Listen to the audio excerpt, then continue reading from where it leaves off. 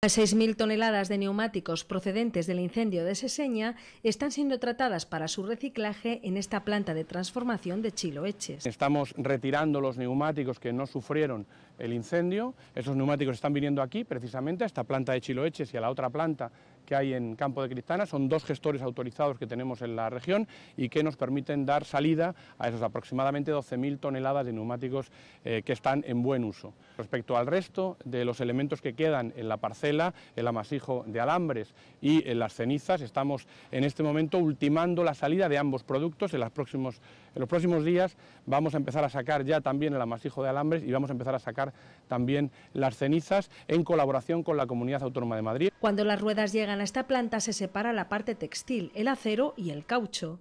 Todas ellas se reciclan y en especial el caucho que tiene muchos usos. El caucho en función de la curva granulométrica o de los diferentes tamaños pues tiene diferentes usos. Asfaltos, que es el, para el, caucho micronizado o más pequeño y luego para parques infantiles, para eh, campos de fútbol o para bueno, obras de jardinería eh, se suele utilizar. El Gobierno regional calcula que en los próximos cuatro o cinco meses la parcela de Seseña estará completamente limpia desde el punto de vista medioambiental.